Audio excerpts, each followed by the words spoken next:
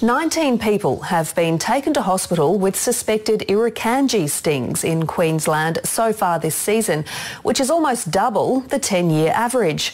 Tonight, a rescue helicopter has arrived at Fraser Island to treat two more people with suspected irukandji stings. Fraser Island is a postcard destination, but beachgoers are warned there are deadly irukandji jellyfish in the surrounding ocean. Yesterday, two people were flown to hospital with suspected marine stings. And in the past two weeks, a total of eight people have been evacuated from Fraser Island by rescue helicopter because of this one centimetre long animal it's not fun.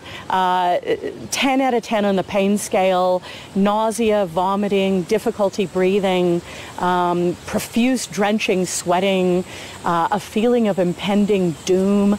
Dr. Lisa Gershwin from the Marine Stinger Authority says on average there are 10 cases of irukandji stings at this point in the season.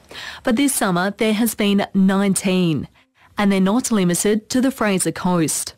This has been an amazing season. There's no real hot spot this year. We've had stings in the Whitsundays, multiple stings there. We've had numerous stings in the Cairns region. You know, we've had stings all up and down the Queensland coast. The recent hot weather and onshore winds are contributing factors, but they're not the only reason for the spike.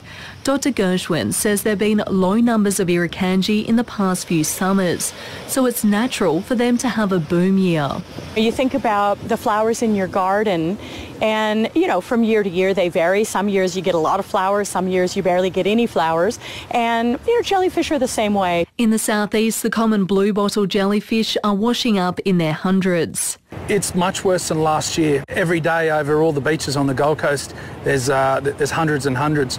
Each beach you could e- easily, easily have between one or 200, and we have uh, almost 40 beaches open every day. The hermaphrodite packs a nasty sting and can be serious for people who are allergic to bees or wasps. They cause a lot of trouble. They really hurt. There's not much we can do to prevent them. With northwesterly winds expected to continue until the end of the week, armadas or blue bottles are likely to keep washing up along the Queensland coast.